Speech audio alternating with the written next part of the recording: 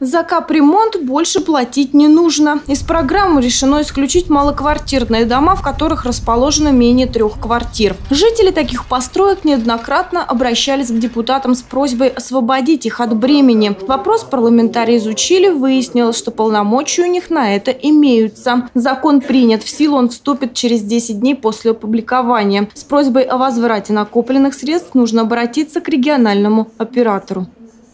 Мы, во-первых, освобождаем людей от платежей и взносов в фонд капитального ремонта. А вот э, это дает право им принимать какие-то действия по своим домам, не согласовывая во множестве инстанций. Поэтому я думаю, что этот закон действительно будет востребован и какие-то реальные потребности жителей решит.